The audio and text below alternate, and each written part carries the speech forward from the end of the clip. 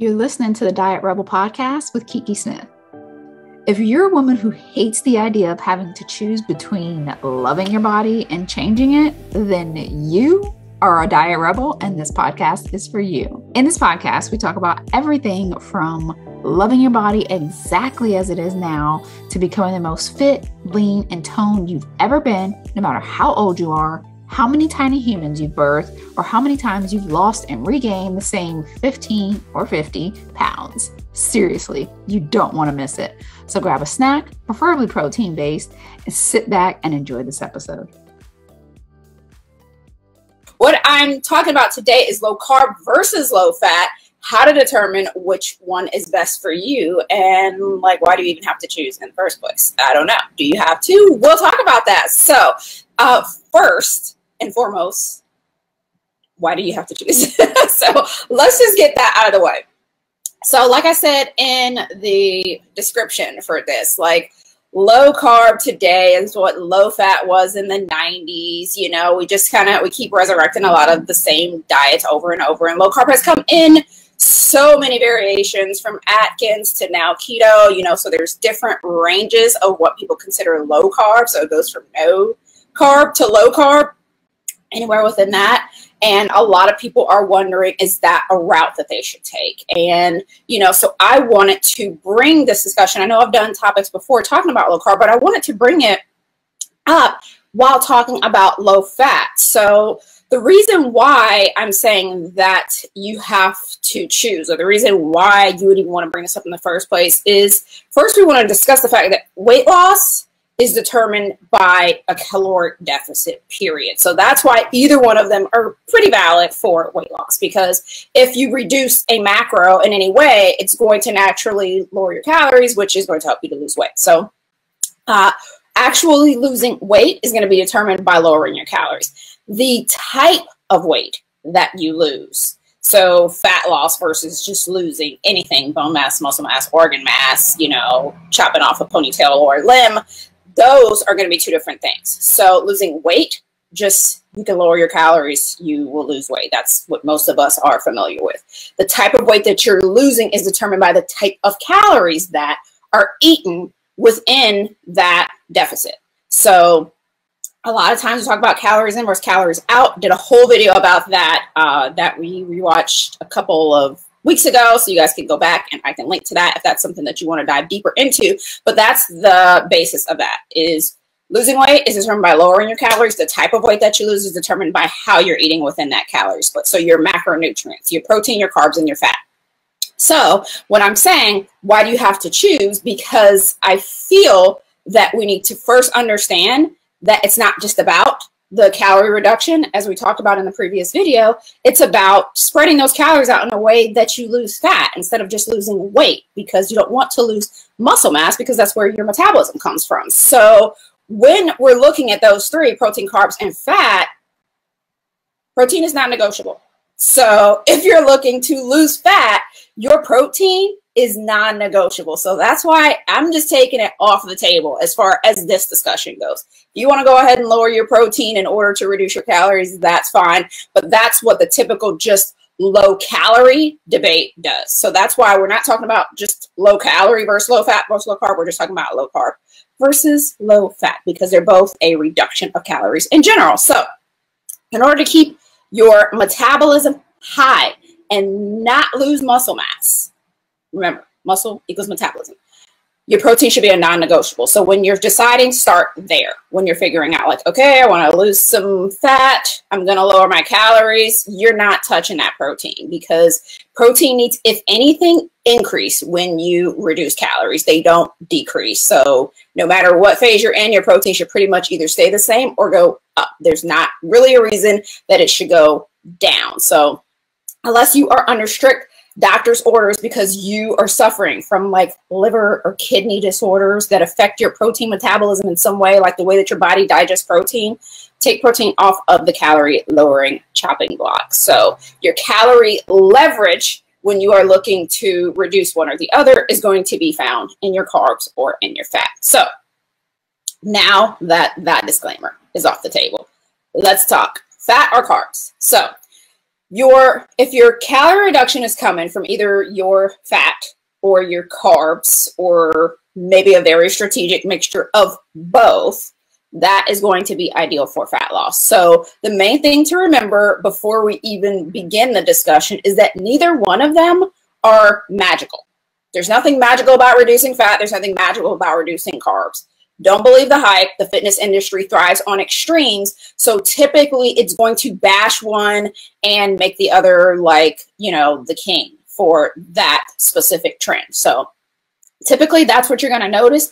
Most successful diets are typically reducing one or the other in some really strategic way. Sometimes it's just a strategic reduction of calories, which is the baseline, the basis for all of it. So neither one is magical, carbs or fat neither one really actually needs to be extreme. So, like I said, if something is demonizing one or making the other like angelic, then typically it's probably off balance. Neither one actually needs to be extreme, but you can and should feel free to tilt the scales to make it sustainable for you based on your personal preference. So, the key is your sustainability and the personal preference. So a lot of times those are the things that I say when people say like, do I need to lower my carbs or are my fat's too high? They plug in their macros and they're like, my fat's always over the top. And I'm just saying like, it's just really based on personal preference, your fat or your carbs. So you want to lower your calories, lower fat or lower carbs. Um, if you want to choose which one,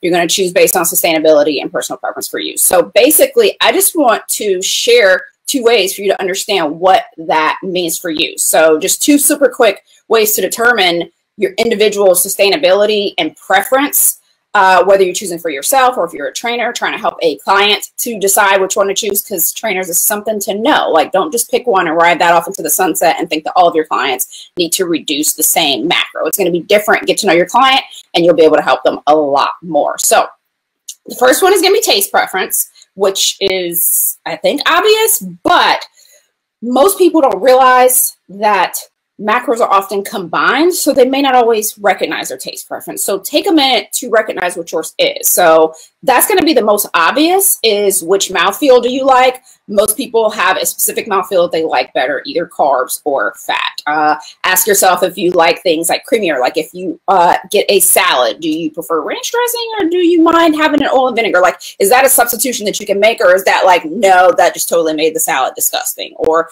like dipping sauces, do you like something creamy or do you like something that's maybe more like sugar based? So like a like barbecue and sweet and sour type sauce for like if you have like chicken nuggets for instance versus like a ranch or maybe a honey mustard or something like that. That's usually letting you know creamier mouthfeel means that you probably uh, prefer fatty and a sweeter mouth is typically means that you want more carbs. So start paying attention to some of the stuff that you're eating to understand because like i say a lot of times they're combined.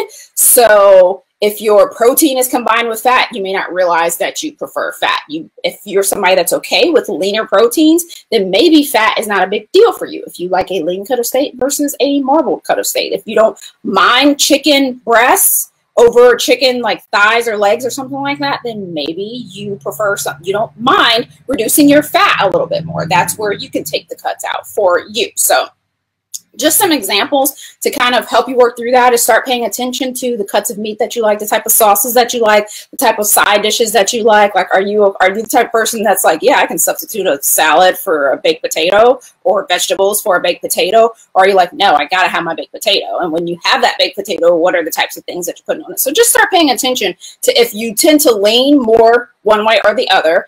And if nothing else, you can go to like a MyFitnessPal or something, punch in your macros and see if there's one that you're always over on. That is probably the biggest clue. If you just type in the way that you eat without trying to maneuver anything, see if there's one that you're over on. If you're over in carbs and fat, then maybe you need to think of strategically lowering both. But that's the first thing is to just kind of look at your uh, taste preference. So Rachel said chicken thighs for life. Now, Rachel, that is a perfect example. I'm glad you punched that in because, like, I am totally a white meat person. I am a white meat person through and through. Like, I could do chicken, I can do like lighter fishes. I don't even like fattier cuts of fish. Like, it's it's almost harder for me to eat good fats because I'm not a total fat person. So And I'm going to tell you a little bit more about what I do, but I want to try to give you guys some examples of how to use it for you. So I'm glad that you shared that, Rachel, because that could help you to understand which is best for you. So taste preference is the first one. And now your second one that you would use, because these two work together, is your caloric deficit preference, because this matters as well. So you may find that maybe you're a, you know, a person that likes fatty foods, but you also like to like eat a lot of food. You like to have more meals throughout the day. So what I mean by this is that the reason why the low fat craze worked so well back in the day was because it was a super easy way to lower calories. Lowering carbs lowers your calories, but lowering fat lowers them fast because fat has twice as many calories as your protein or your carbs. So when you reduce your fat, like it drastically lowers your calories. That's why it like worked and everybody jumped on that bandwagon. So what they did was a lot of times they lowered the fat in something and just increased the carbs in it or things had more sugar. So that was the problem with the low fat craze was that typically we added a bunch of other stuff to make it taste better. So things that were super low in fat or super high in carbs because it had to taste good somehow. You know, usually those are the two things that make something taste better is the carbs and fat. So uh, lowering fat lowers your calories like a lot because it has so many more calories in it. So like, you know, like a couple tablespoons of oil has as much, you know, calories as like a whole chicken breast or like a potato or something like that. So it's really important to see if you eat really high fat, you'll notice that you use up your calories fast. So if you only eat a couple meals a day or you don't mind eating a couple meals a day or you only want to eat like once or twice a day and you find it hard to get in enough calories, then increasing some fat may be a good way for you to do that because you're going to get in more calories while eating less food. So if you have a higher fat intake, that's helpful for getting in the calories in less meals or in smaller meals. Uh, if you feel like eating like you like to feel like you're eating more, especially when you're dieting, maybe like a just a psychological trigger for you. Like you don't want to have less food, like you just want to kind of feel like you're eating a lot all day long. Then lowering fat can actually help you to have more meals because you're going to be able to just like eat more. So fat makes you have to eat less because you use up the calories really fast. Reducing the fat helps you to spread the meals out a little bit more. Uh, if those are the two big things that I would say is look at your taste preference, look at your calorie preference. If you enjoy having lots of meals and feeling like, oh, I'm not even really on a diet, then having a little bit lower fat could possibly help you. If you feel like, um, you know, I really, I love the taste of fat, that is my preference, and I don't like eating, you know, like I'd rather just like eat like one huge meal at dinner and maybe the, you know, like a lunch or something like that, then maybe having higher fat would help you to get in those calories and, you know, still feel full. So that's up to you. That's one of the things that I would say to look at is those two things. The most important thing to remember is your body, your rules. You make the rules here. Pay attention to what you like and don't like and use those to your advantage when you are trying to decide when and where to lower your calories. So once you've looked at those two things and you've weighed out both preferences, you can figure out if you lean heavily in one direction or the other. And if it's split right down the middle, you know, then maybe it could just pretty much come down to deciding meal by meal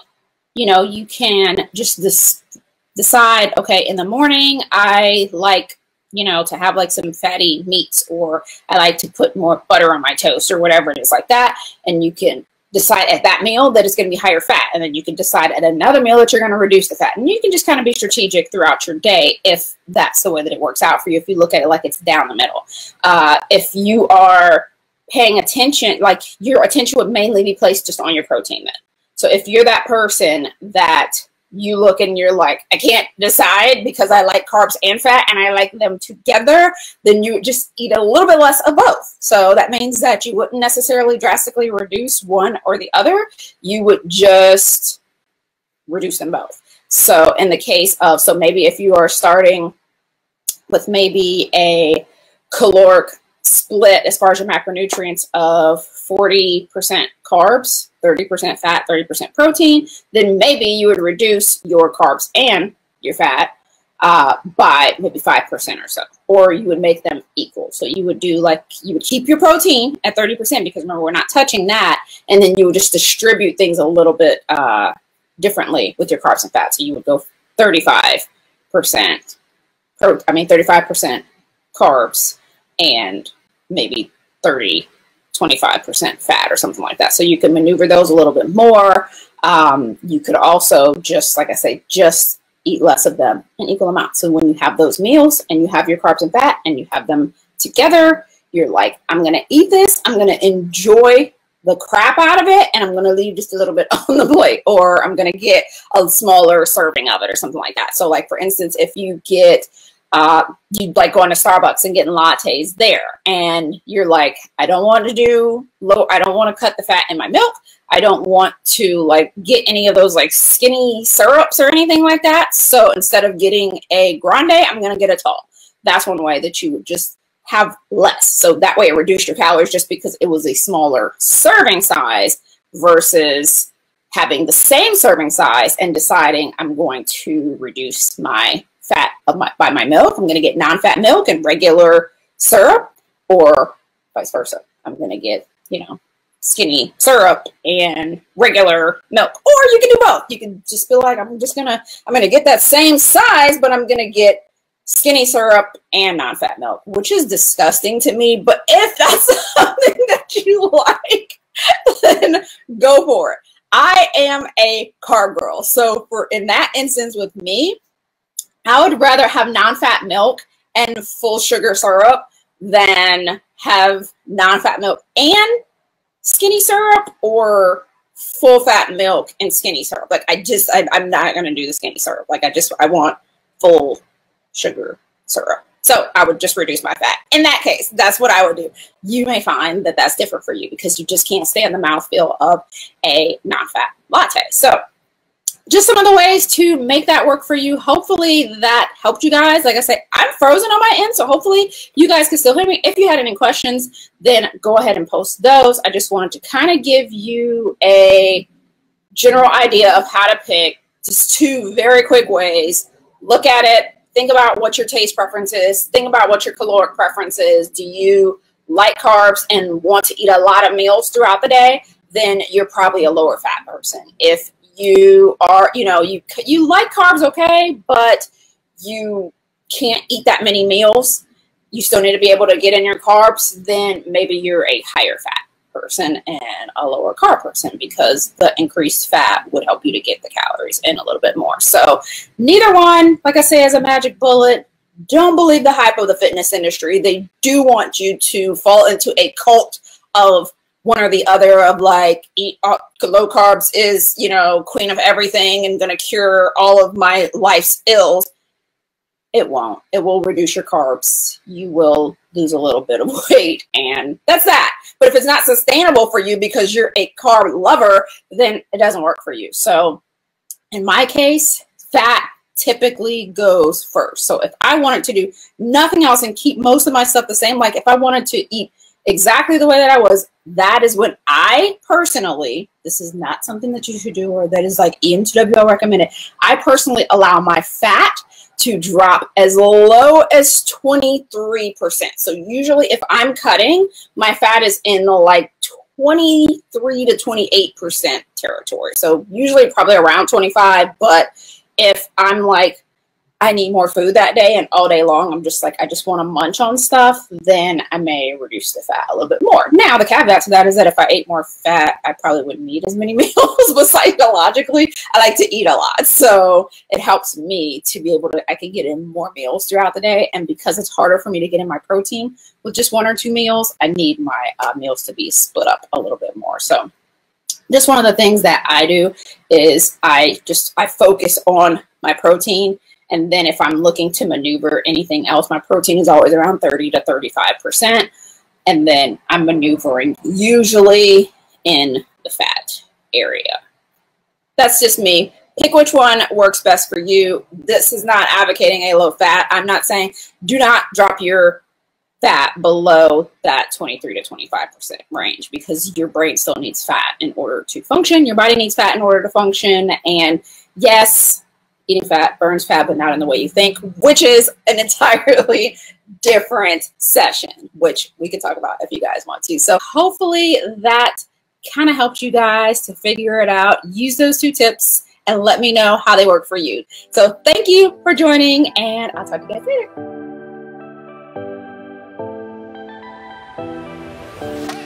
And that's a wrap.